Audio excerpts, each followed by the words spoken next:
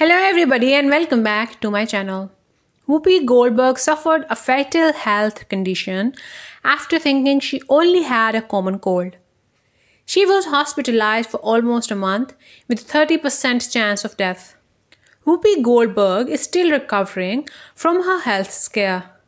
What she thought was merely a common cold ended up being a life-threatening illness with a 30% chance of death.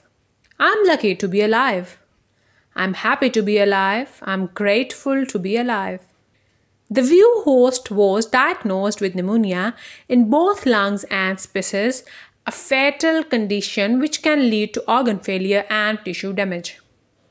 Part of her treatment in the hospital was having her lungs drained twice a day.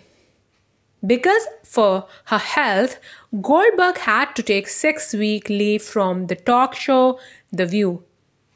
Her road to recovery is still not finished. She didn't believe the situation was as critical as it turned out to be, especially since she didn't think pneumonia was that serious. To the 63 year old, the near death experience was an eye opener and taught her that everyone should take the time to take care of themselves. Goldberg was admitted to the hospital with pneumonia and sepsis and was shocked when the doctor told her Listen, you're not going anywhere tomorrow and you're not going anywhere next week because you are really sick. You were this close to dying. The television show didn't expect to her such a terrifying diagnosis, especially because in her mind she didn't feel that sick, which was why she kept postponing a trip to the doctor.